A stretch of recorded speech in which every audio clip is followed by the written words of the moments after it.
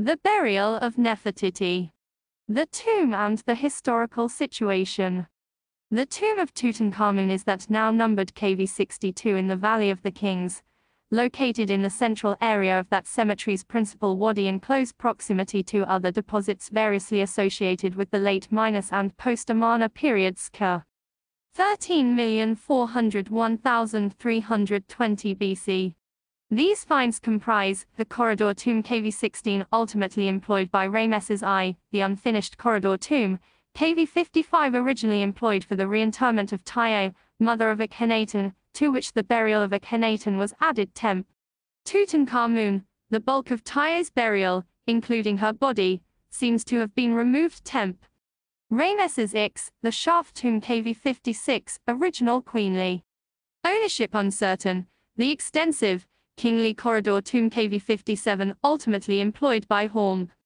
And the shaft tomb KV58 original ownership uncertain. A storage pit and a further single-chambered shaft associated with these or other burials of the period are, respectively, KV54 containing materials seemingly displaced in antiquity from KV62, and the recently discovered and as yet only partially published funerary storeroom KV63 temp.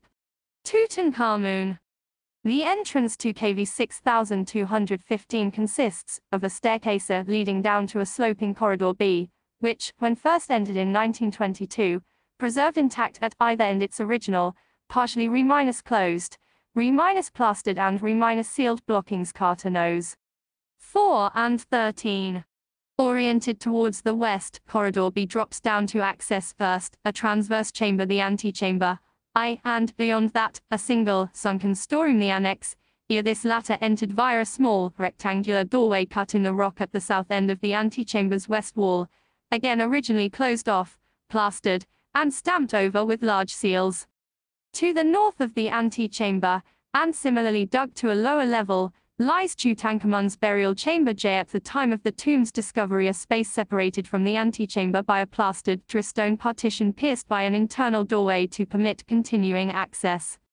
Following the king's burial this internal doorway had itself been blocked with rough stones, plastered, and again stamped over its entire surface with large seals Carter No. 28. At the far end of the burial chamber, on its east, stands a further doorway, never closed, which gives admittance to a second storage chamber the treasury, jar.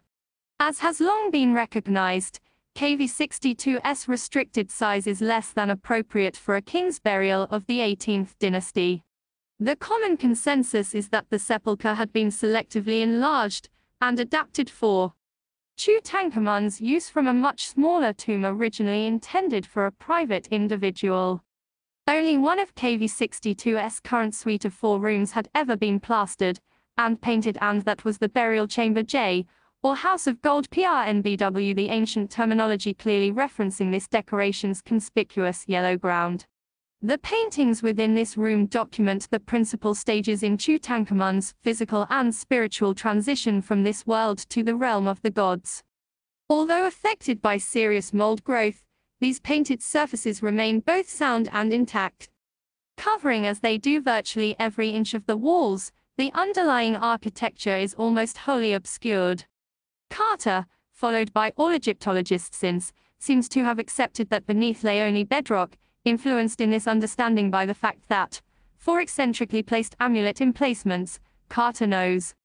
257 minus 260 cut through the decoration to expose solid limestone in contrast to the modest scale and simplicity of the tomb proper, the range, quality, and richness of the furnishings crammed into Tutankhamun's four small chambers were overwhelming.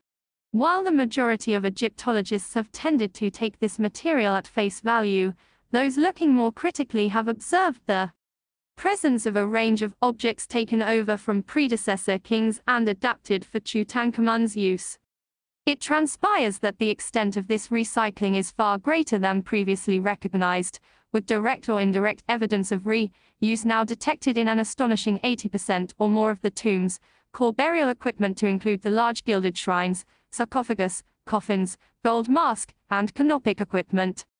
Originally produced several years before Tutankhamun's accession, during the reign of Akhenaten, this material falls into two distinct groups. 1.